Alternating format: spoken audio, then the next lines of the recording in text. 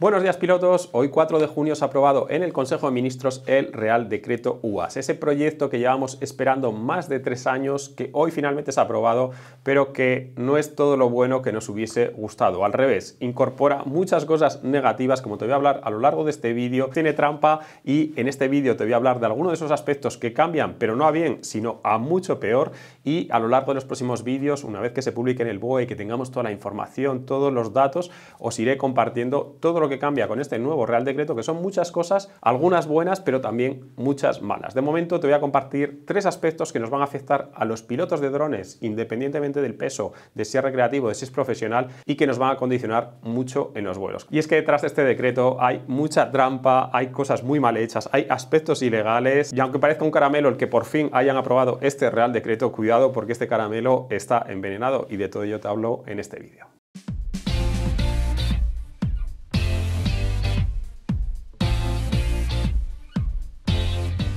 Bueno, pues por fin se ha aprobado ese Real Decreto que llevamos tanto tiempo esperando que se aprobase para que mejorase la situación de los pilotos, pero visto los borradores y visto el texto del proyecto, la verdad que igual mejor que no se hubiese aprobado, porque como te digo, nos dan por un sitio y nos quitan por otro. Y es que realmente es un texto que hay que cogerlo con pinzas. Fijaros que entre los objetivos del Real Decreto es disponer de un marco normativo nacional congruente estable que aporte seguridad jurídica al sector de las aeronaves no tripuladas y que permita el desarrollo de los estándares de seguridad exigibles según la normativa europea. Ni es congruente el texto, ni aporta seguridad jurídica a los pilotos, ni a las aeronaves, ni al sector, y por otro lado, no se corresponde en nada a la normativa europea. Ese pequeño margen que dejó Europa para que cada uno de los países miembros pudiesen adaptar la normativa europea según sus circunstancias propias, España ha abusado mucho de ese pequeño margen y, como se suele decir, le han dado la mano y ha cogido el brazo entero. Un brazo entero con el que ha hecho lo que ha querido a nivel de seguridad, de control y de prohibición de los drones. Y a lo largo de este vídeo te voy a hablar de tres aspectos que desde mi punto de vista son muy condicionantes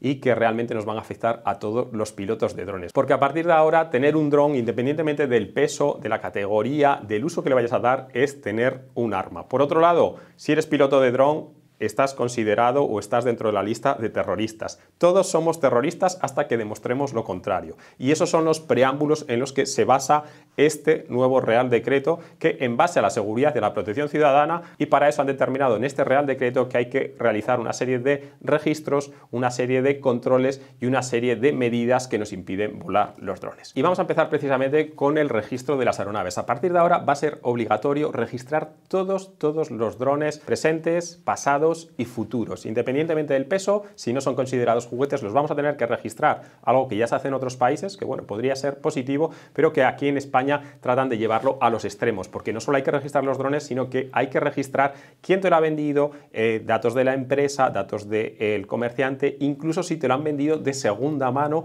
cualquier dato. Y de la misma forma, si tú vendes un dron de segunda mano, es decir, que la trazabilidad de todos los drones pasados, presentes y futuros, como te digo, va a estar registrada totalmente y ellos van a tener total control de ese dron, de dónde está, de quién es y de quién lo tiene. Bueno, una medida que en principio podría parecer para la seguridad y para tener cierto control, pero que de cara a los pilotos no se expone porque a partir de ahora tener un dron sin registrar es como tener un arma ilícita, es como tener una pistola, una escopeta en casa sin registrar y por lo que te podrían sancionar. Así que mucho cuidado con eso porque una vez más ponen un control más férreo, nos ponen una nueva traba y la llevan a sus límites para que en cualquier momento podamos estar fuera de la legalidad. Y todo esto lo hacen bajo la premisa de la protección ciudadana, de la seguridad y de la peligrosidad. Y de hecho lo ponen en el texto y voy a leer eh, textualmente lo que pone porque me hace mucha gracia. Y es que pone... Eh, atendiendo a la necesidad de establecer medidas que refuercen en toda su extensión la seguridad pública, particularmente en el ámbito de la seguridad ciudadana, teniendo en cuenta que los UAS suponen una amenaza de alto nivel para la seguridad pública, no solo dentro del marco de la seguridad aérea, del espacio aéreo, sino en toda su extensión. El plan estratégico, un plan que sacaron en 2018 y que lo hicieron, pues bueno, como les pareció a ellos, sin ningún informe, sin ningún dato, remarca que existen una serie de riesgos asociados al uso de los drones con fines terroristas a los vuelos en entornos protegidos por razones de seguridad. Serían interminables los ejemplos a nivel nacional e internacional, a ver qué ejemplos, porque yo no he visto muchos, pero ellos dicen que interminables, que marcan estos dispositivos como uno de los instrumentos más usuales empleados para fabricar Improvised Explosive Device, para incorporar bombas. Son el arma terrorista más elegida en muchas partes del mundo debido a su relativa facilidad de construcción, disponibilidad y capacidad destructiva. Por lo tanto, las fuerzas y cuerpos de seguridad tienen que disponer de los medios adecuados para su detección, prevención y trazabilidad de forma que les permitan identificar a los infractores e implementar contramedidas para evitar posibles actos ilícitos. Sí, muy de acuerdo, lo estamos viendo en Ucrania, como los drones 500 euros con una bomba de otros 500 euros pueden reventar un tanque o te lo pueden meter por una ventana. Pero señores, ¿se están dando cuenta de que los terroristas o de que las personas que quieran hacer un atentado no van a registrar sus drones?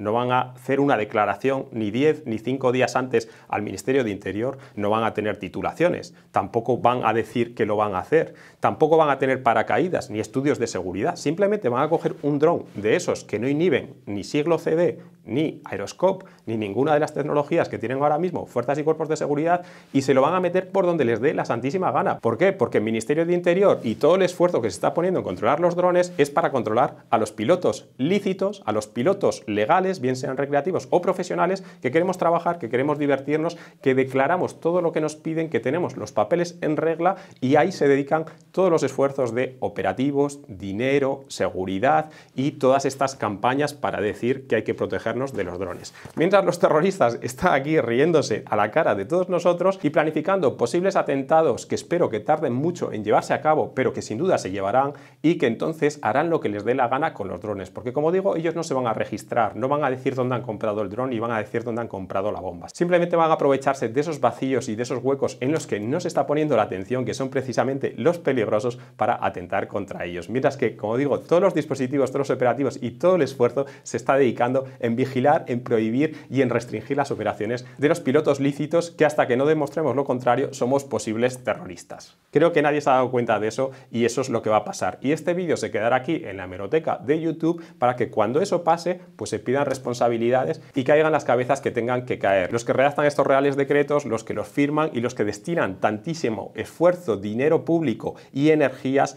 en prohibir que todos los pilotos de avión realicen una operativa, bien sea de forma recreativa o profesional, mostrando todas las titulaciones, los papeles, los registros, los seguros, las declaraciones, los remotos IDs y todas las chorradas que nos piden y esos somos los que estamos vigilados. Y aunque todo esto parezca muy obvio, siguen intentándonos vender en este real decreto que los drones son armas muy peligrosas y que por eso hay que vigilarlas atendiendo a la ley de protección del ciudadano y del espacio aéreo. Bueno, es cierto que los drones, como he dicho, pueden ser peligrosos, pero cualquier cosa puede ser peligrosa en manos de un posible terrorista, una piedra, un cuchillo, un coche o un camión, como ya se ha demostrado. Y lo que hay que destinar los esfuerzos, los recursos, los operativos y el dinero es a vigilar y a perseguir a esas personas, no a inventarse falsos terroristas, que somos los pilotos de bien, que simplemente tratamos de ganarnos la vida de disfrutar con un hobby o de tratar que un sector como el de los drones se desarrolle y traiga todos esos ingresos y esa tecnología que en España, gracias a estos reales decretos y a estas normativas, se está quedando rezagada y mucho más que se va a quedar.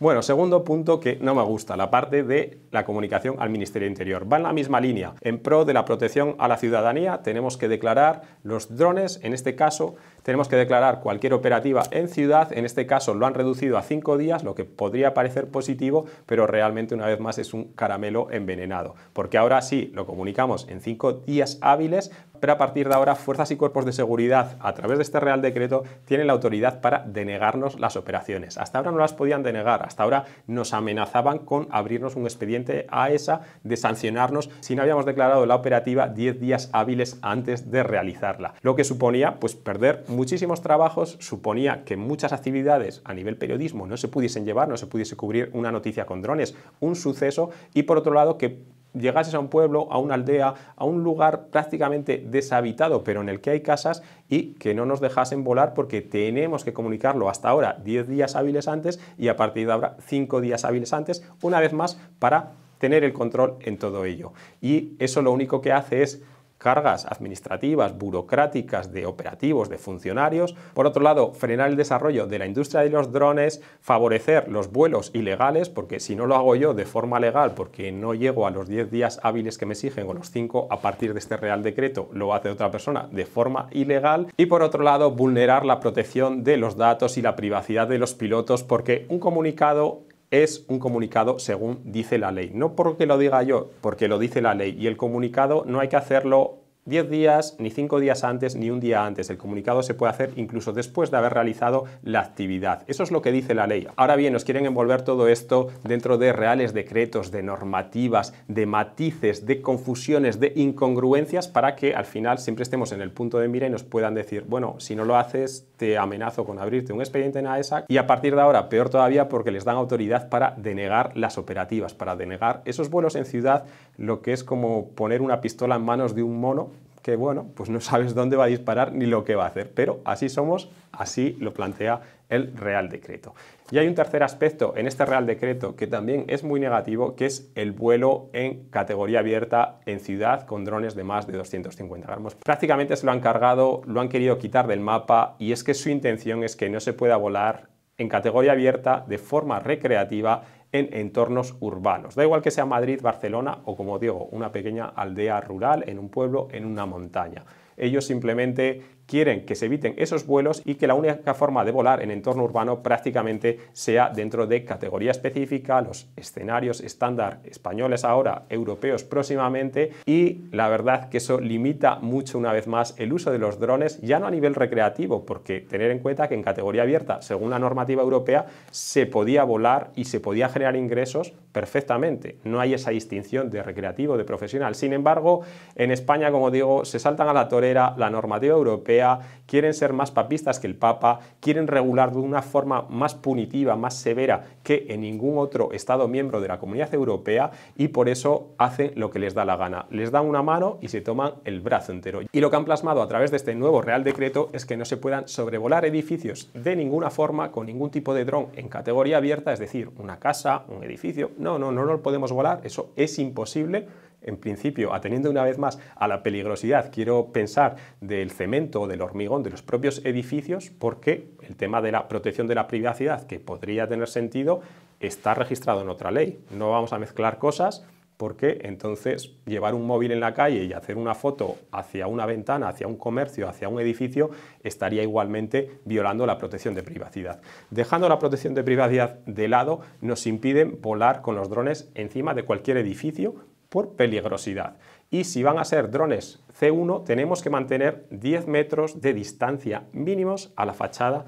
del edificio, lo que hace que volar en una calle, salvo que sea la Gran Vía, una calle realmente muy ancha con más de 20 metros, 10 para un lado de una fachada y 10 para el otro, no podríamos volar salvo en el pasillo central. Ahora sí, nos permiten subir a 120 metros de altura, algo que antes lo teníamos limitado a los 20 metros, pero ¿de qué sirve? ¿Quién me dice a mí que estando a 120 metros de altura no estoy sobrevolando un edificio o no me he salido de esos 10 metros de eh, espacio que no puedo acercarme a una fachada? Como veis, una vez más incongruencias, prohibiciones y eso en cuanto a los drones de marcado de clase C1 que van de 250 gramos a 900 gramos y si pasamos de ese peso, drones de marcado de clase C2 más de 900 gramos, pues la limitación es todavía mayor. No nos podemos acercar de ninguna forma a las fachadas de edificios y tampoco en ningún caso con ninguno de estos drones podemos sobrevolar personas. Así que como ves, la normativa europea desde 2021 dice una serie de cosas que tratan de atenerse a la verdadera peligrosidad de la operación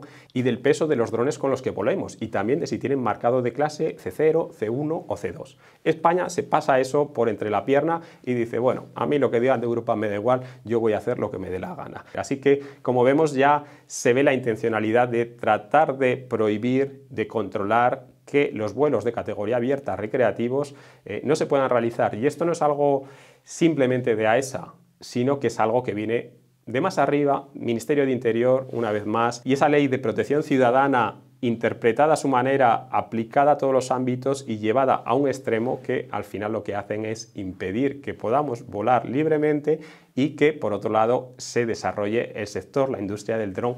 con todas las pérdidas que esto está suponiendo en España y cómo nos está dejando rezagados, no solo en Europa, sino a nivel mundial, a nivel de esta tecnología. Por supuesto que muchos pilotos que hemos leído este Real Decreto no estamos conformes, no estamos de acuerdo, no se nos ha escuchado y realmente un punto positivo es que AESA por fin ha aceptado la Asociación Nacional de Pilotos de Drones, la ANPD, como interlocutor válido para transmitirle todas nuestras quejas, nuestras ideas, nuestras sugerencias, pero que también nos dicen que se ha llegado tarde para cambiar este Real Decreto. Porque tal cual como ellos ponen en el Real Decreto, hubo un tiempo para consulta pública que curiosamente, fijaros, fue del 6 al 25 de septiembre de 2019. Hace prácticamente cinco años. Cinco años en los que sí, se sacó a consulta previa ese nuevo Real Decreto, pero que no tenía nada que ver con lo que se ha plasmado hoy en día aquí. Así que vemos como hay mucha trampa detrás de todo esto y si bien ahora está esa vía abierta para poder hablar con AESA, para poder tratar de, eh, bueno, aportar ideas, sugerencias, mejoras en todo esto, este Real Decreto, como digo, se ha aprobado hoy en el Consejo de Ministros, dentro de 15 días verá la luz, saldrá en el BOE y se empezará a aplicar y solo habrá tres meses para poner objeciones y tratar de derocar este Real Decreto, que sería lo mejor para que lo hiciesen realmente con sentido común, atendiendo realmente a la verdadera peligrosidad, que como digo, no es la de los pilotos de bien, los pilotos registrados, los pilotos que intentamos hacer las cosas de forma legal, sino esos que nunca jamás se van a registrar, que nunca van a tener intención de cumplir todo esto y que van a poner en cualquier momento una bomba en un dron y se la van a meter, pues bueno, no quiero decir por el pero se la van a meter donde les dé la gana a quienes les dé la gana, porque nunca se fijaron, nunca persiguieron y nunca destinaron los esfuerzos a tratar de prevenir y de proteger esos peligros que son los reales. Y si queréis conocer todo el Real Decreto en detalle, que sepáis que en dronguru.es hemos creado un post, ahí en la descripción tendrás un link en el que puedes ver el documento tal cual como se ha aprobado y puedes ver un resumen o los puntos principales que hemos destacado de este Real Decreto. Si quieres verlo directamente sin esperar a que publiquemos el siguiente vídeo, ahí lo tienes, lo puedes consultar desde ahora mismo. Bueno chicos, dejadme en los comentarios qué es lo que os parece. Como os decía, hay también cosas buenas, pero os lo compartiré en el próximo vídeo. De momento eh, quería recalcar esos tres puntos de los muchos, muchos, muchos que cambian en el Real Decreto UAS y si no te quieres perder los próximos vídeos, eh, suscríbete, activa la campanita y te informaré de las cosas positivas como el seguro eh, para los drones ahora ya no va a ser obligatorio en categoría abierta, salvo algunas excepciones y bueno, otra serie de ventajas a la hora de volar en CTRs, etcétera. Eso será en los próximos vídeos, pero como te decía, a partir de hoy, 4 de junio de 2024, entramos en una nueva era del sector de los drones aquí en España. No sé si mejor o peor, habrá que ponderar lo bueno y lo malo y sacar conclusiones, pero de momento todo va a cambiar mucho, así que estate atento del canal para que te enteres y para que no incumplas, porque a partir de ahora, como te decía, puedes incurrir en muchas ilegalidades porque cambia totalmente lo que hay que hacer, lo que tenemos que cumplir y los diferentes requisitos para el vuelo de drones. Y de la misma forma que entramos en una nueva era del pilotaje de drones, también entramos en una nueva era de Drone Guru porque si te has dado cuenta, estoy en el nuevo estudio que no está acabado, que está en proceso y te enseñaré los diferentes elementos, cómo están colgadas las cámaras sobre raíles en el techo, los focos, todo lo que ha incorporado este panel fonoabsorbente de Pladur para que haya una mejor sonorización en este lugar que era un auténtico trastero y también elementos incorporados como la mesa motorizada de FlashSpot, patrocinador de este vídeo porque al final los creadores de contenidos también tenemos que vivir de algo y han querido patrocinar este spot, enviarme esta mesa para el nuevo estudio de la que estoy encantado. Se nota la calidad alemana, me puedo subir aquí encima y aguanta mi peso perfectamente y me va a dar mucho juego para grabar vídeos sentado, para grabar vídeos de pie, para hacer diferentes tomas, detalles y sobre todo para hacer planos creativos como estos que estás viendo.